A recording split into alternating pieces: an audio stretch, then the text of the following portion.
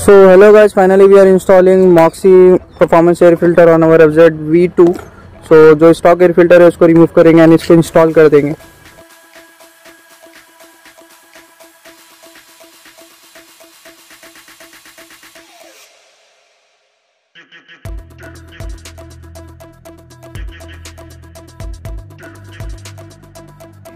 So this was our stock air filter of FZ V two जो stock company provide करती है। So so, इसको हम हमारे परफॉर्मेंस एयर फ़िल्टर से रिप्लेस करेंगे। पहले तो ये एरिया टोटली क्लीन करेंगे उसके बाद इसको इंस्टॉल करेंगे।